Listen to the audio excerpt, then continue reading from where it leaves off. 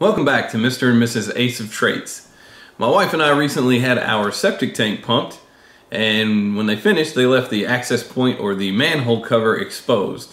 So decided to try our hand at building a fake boulder to cover it up. Let's take a look.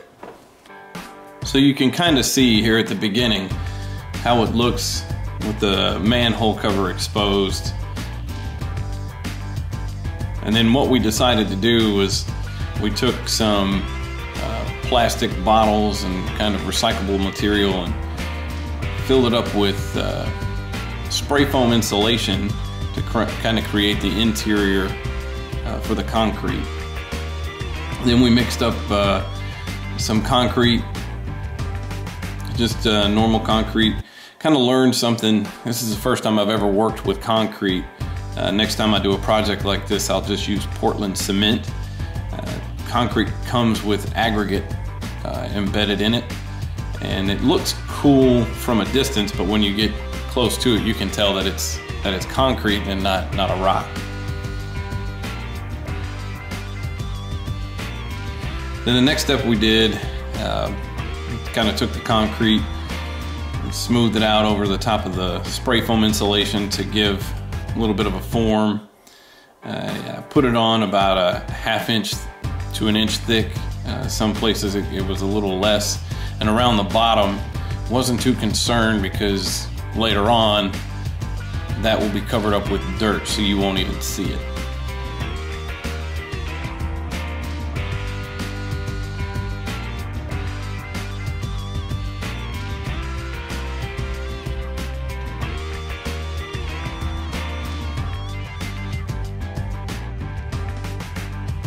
Was actually pretty impressed with how well the concrete will hold a shape. So as you uh, fill in gaps and in, in different places, you can mold it and sculpt it very easily. And what you're gonna see is I used uh, a couple different size trowels to uh, give a little bit of form, a little definition, uh, remove my fingerprints and uh, some of the other odd shapes that were in there.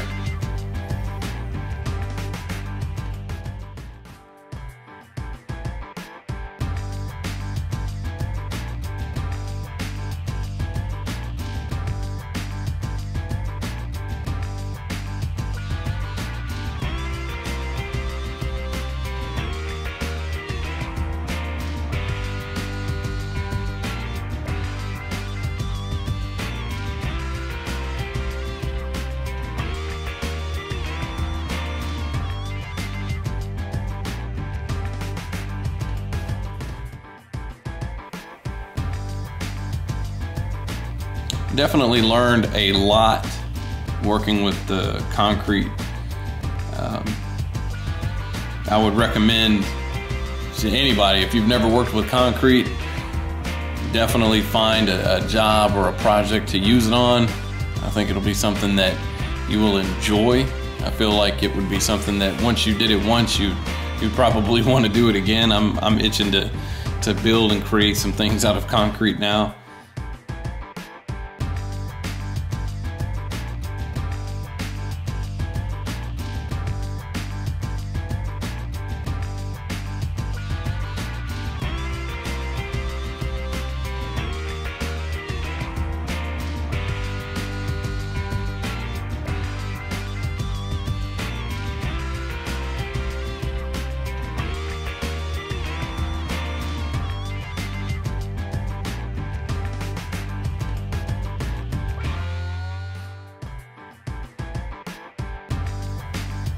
And you can see once I finished sculpting it, I just got it to a shape that was uh, pretty close to some of the rocks around our house. wasn't really going for anything too perfect. I just wanted to give some textures and kind of play with it and see uh, how it would turn out. Once it was set up, it did act, it actually didn't take very long to set up at all. But once it was once it was set up, then uh, it was time to paint it. Uh, and what you'll see is that I used a, a variation of paints. Again, since this was my first time working with concrete, wanted to uh, experiment, really see how certain paints would react, how they'll hold up. Uh, so we used everything from um, spray paint, which was an indoor outdoor paint uh, rated for concrete. We also used uh, different types of acrylic paint. Um, same thing, rated for indoor outdoor use. Um, and then I used uh, different types of uh, texturing from old rags, brushes, um, even diluted it some with, with water just to uh, give it different types of patterns, something that wasn't just regular brush strokes. And then I worked in a, a, a wide variety of colors as well, from grays and blues to whites and uh, some browns. And at one point, even in, used a little bit of green, which really helped uh, contrast against some of the grayer areas in the concrete itself. And then also used uh, some blacks, some deep, deep dark blues, and, and kind of mixed it with some black for some of my shadows. I took a long time painting it just so I could play with the different colors and textures and just to see how it would turn out. Again, this is more of a learning project for future projects that we that we have coming up.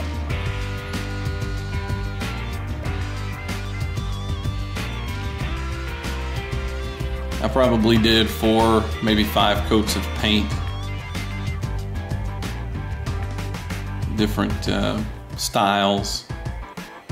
And you can see that I, as I was painting, I was also using water to help dilute some of the paint. So in some areas, it was a little stronger than others.